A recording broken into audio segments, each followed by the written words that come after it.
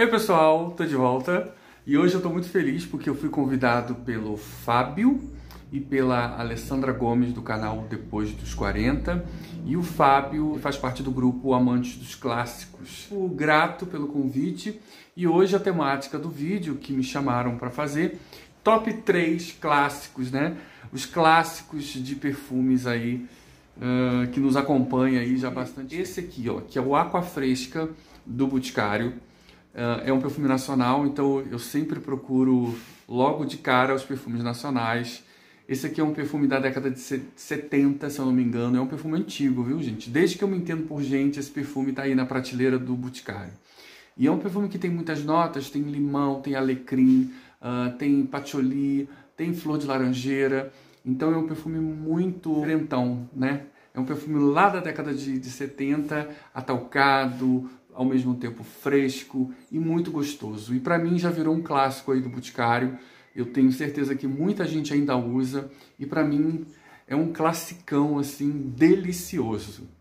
Bom, o próximo também é um perfume nacional. Eu sempre dou preferência aos perfumes nacionais. Eu estou numa fase de perfumes nacionais. A gente está vivendo uma crise, então a gente tem que comprar os produtos nacionais.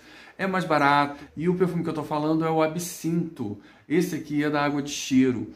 E é um perfume que foi um dos meus primeiros perfumes e é o perfume que eu gosto bastante. Ele tem pouquíssimas notas e é um perfume que ele ainda está assim, um tanto fragrante.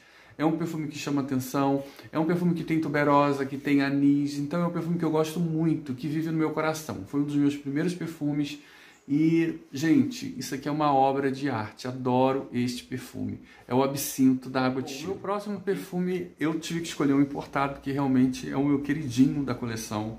É um perfume que eu já usei bastante e mesmo assim ele é perfume para a vida toda, né?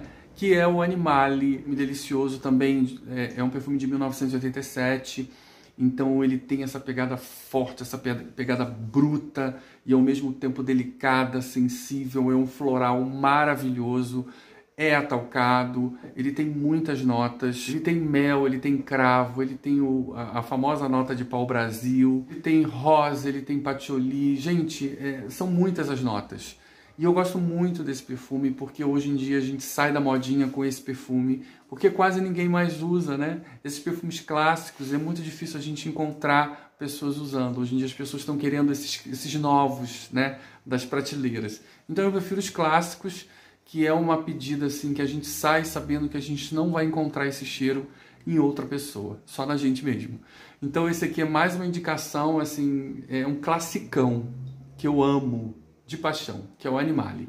Bom, muito obrigado, Alessandra. Muito obrigado, Fábio. Um grande beijo e até a próxima. Tchau, tchau.